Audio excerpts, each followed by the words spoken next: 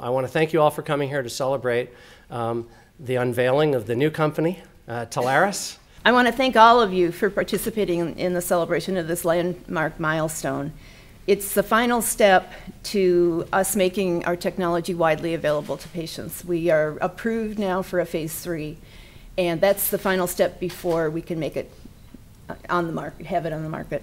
Through force of will and perseverance, uh, and, uh, and obviously a lot of smarts and a lot of determination. And for the last 21 years, uh, the support of the University of Louisville community, uh, which attracted her here, um, she has succeeded in bringing into clinical trials a therapy where uh, we've now demonstrated in 37 patients that we were able to get 70% of all of these patients um, after their kidney transplant off all of immunosuppression within 12 months. We now have the largest number of kidney transplant recipients completely off immunosuppression in the history of transplantation. If we can find a way to eliminate the need for those drugs, it's a huge improvement in lifespan and quality of life for our patients. And that's the most important thing.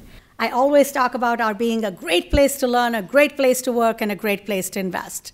And it, when it comes to investment, we talk about we want to be a place that has a demonstrable impact on the health, economic, social, cultural, the well being of Louisville, the Commonwealth, and beyond.